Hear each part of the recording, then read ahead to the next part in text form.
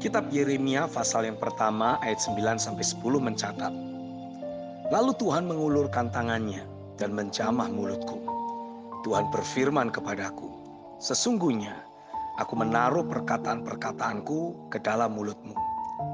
Ketahuilah, pada hari ini aku mengangkat engkau atas bangsa-bangsa dan atas kerajaan-kerajaan untuk mencabut dan merobohkan, untuk membinasakan dan meruntuhkan, untuk membangun dan menanam.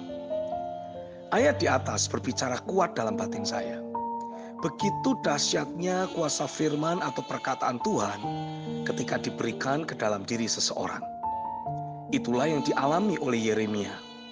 Nasib bangsa-bangsa dan kerajaan-kerajaan ditentukan oleh perkataannya. Itulah kapasitas firman yang sejati, sanggup untuk mencabut, merobohkan, membinasakan, meruntuhkan, dan membangun kerajaan-kerajaan serta bangsa-bangsa. Permasalahannya, kita masih memandang dan memakai firman Tuhan hanya untuk kehidupan diri kita sendiri saja. Hanya untuk sukses, diberkati, disembuhkan, dan diberi kekuatan.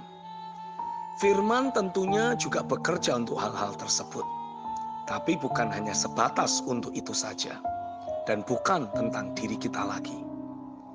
Padahal firman itu menyatakan tentang kebesaran dan kedahsyatan Tuhan. Oleh firman yang menciptakan langit, bumi, dan juga isinya. Jadi firman Tuhan bertujuan untuk menyatakan kehendaknya di atas bumi ini. Bukan untuk tujuan dan keinginan kita. Saya semakin yakin Tuhan sanggup memulihkan segala sesuatunya di atas muka bumi ini hanya dengan berfirman.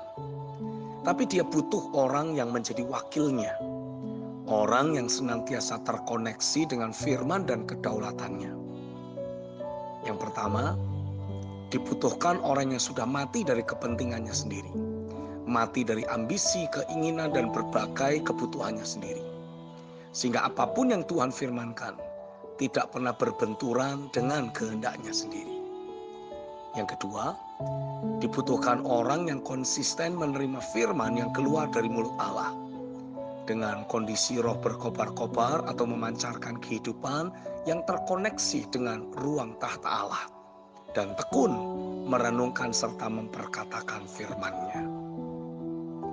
Galatia 2 ayat yang ke-20 mencatat, Namun aku hidup, tetapi bukan lagi aku sendiri yang hidup, melainkan Kristus yang hidup di dalam aku.